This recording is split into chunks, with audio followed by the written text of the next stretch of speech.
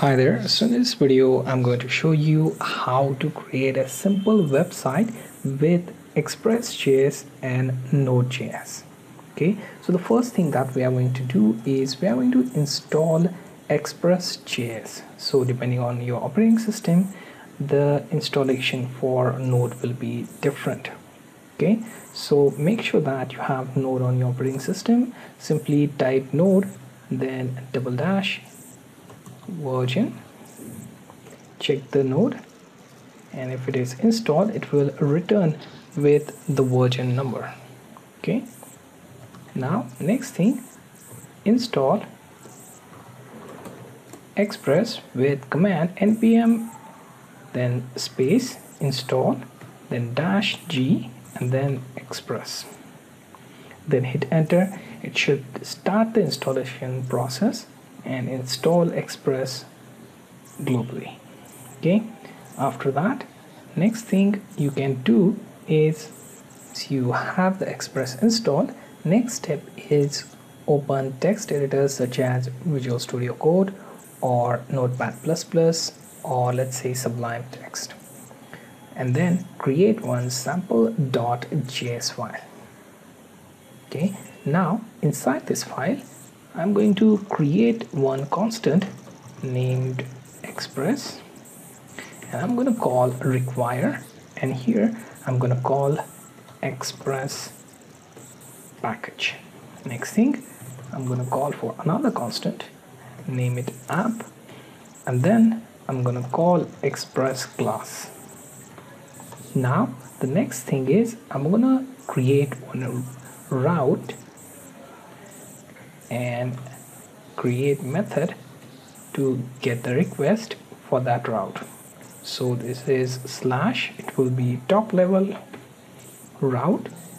And here I'm going to accept request and response.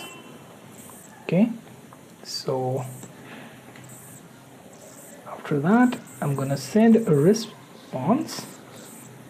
And let's see with response I'm gonna post something like hello Devnami YouTube users.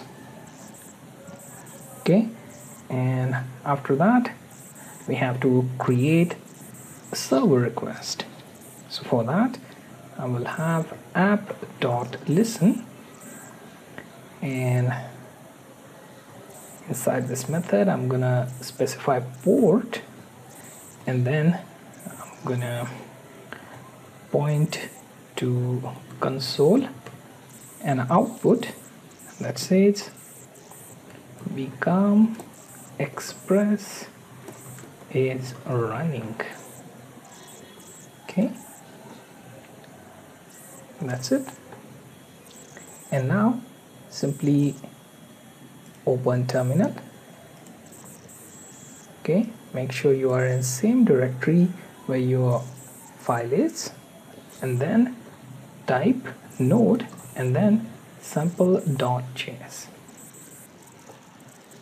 if everything is right then it should return with the message become express is running.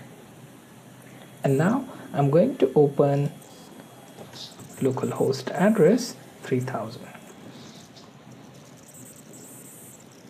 okay and it should return with message. Hello Devnami YouTube users. Now this makes a simple website with Node.js and Express. In some of the future videos I'm going to show you how to create additional routes such as let's say dashboard then user then profile login etc also I'm going to sh show you how to serve static files such as css image files and other media okay? Also we will see how to use express application generator. Okay? So we'll take a look at that in next few videos